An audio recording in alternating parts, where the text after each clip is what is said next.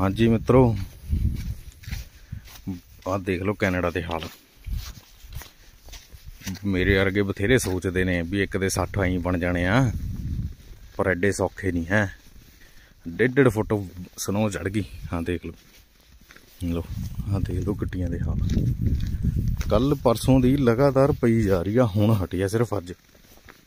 ਬੁਰੇ ਹਾਲ ਨੇ। ਦੇਖੋ ਇਹੀ ਆ ਅਲਬਰਟਾ। ਅਲਬਰਟਾ ਚ ਸਾਰਾ ਤੋਂ ਵੱਧ ਸਨੋ ਕੈਨੇਡਾ ਚ ਅਲਬਰਟਾ ਦੇ ਹੀ ਸਹੀ ਆਈ ਆ। ਇਹ ਗੱਲ ਸੱਚ ਹੈ। ਦੇਖੋ।